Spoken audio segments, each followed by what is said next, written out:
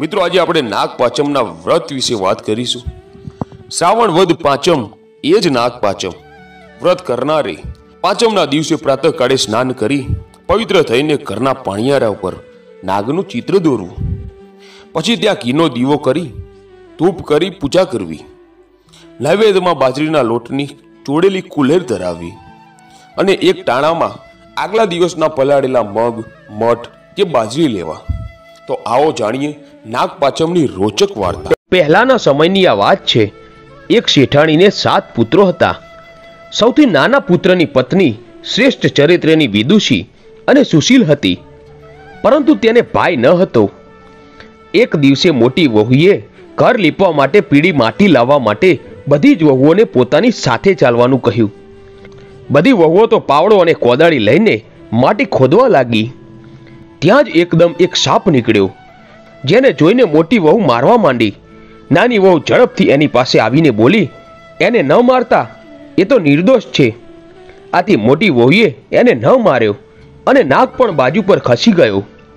નાની વહુએ સાપને કહ્યું કે, અમે હમણાં જ પાછા ફરી રહ્યા છીએ. તમે અહીંથી જશો નહીં.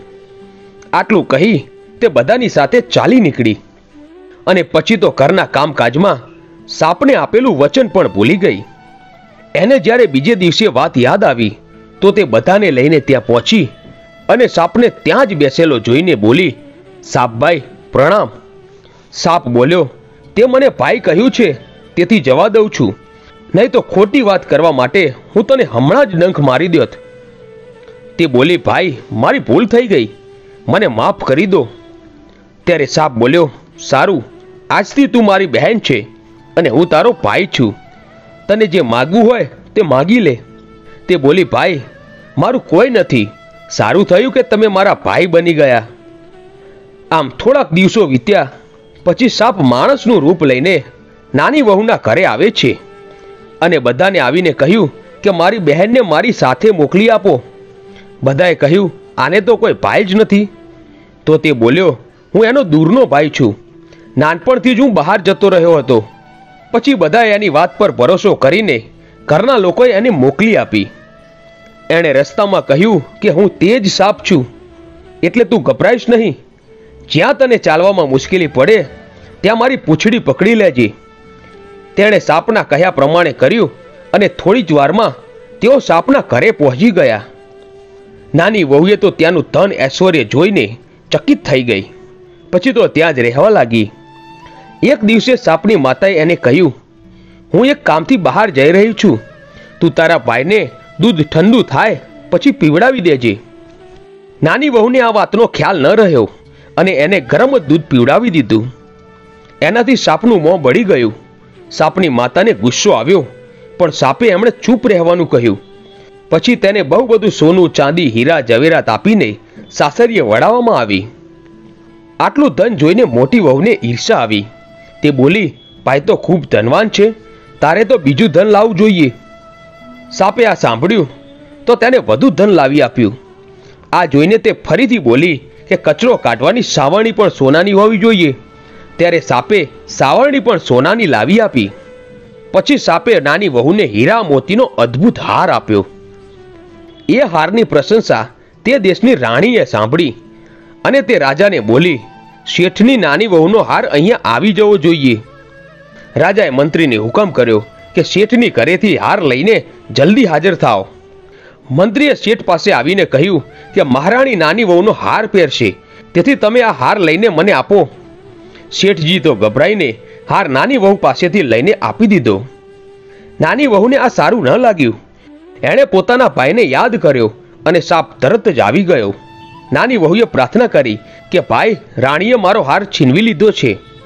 તમે કંઈક એવું કરો કે જ્યારે રાણી ગળામાં તે હાર પહેરે, ત્યારે તે સાપ બની જાય.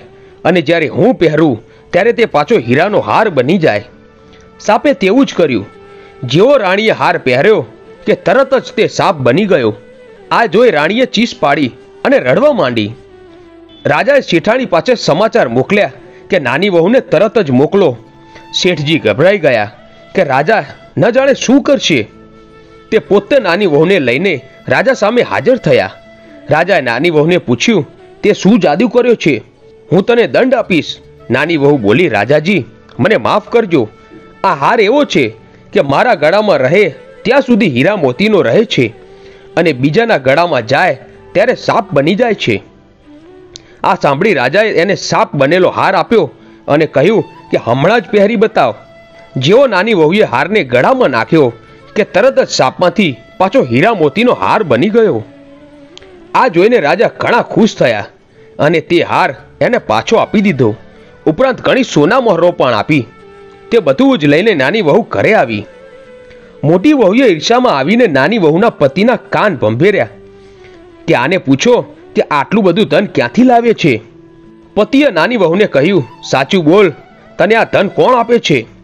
નાની વહુએ તરત જ સાપને યાદ કર્યા અને સાપ તરત જ પ્રગટ થયો અને ગુસ્સામાં બોલ્યો, જે મારી ધર્મ બહેનના ચરિત્ર પર શંકા કરશે, એને હું ખાઈ જઈશ.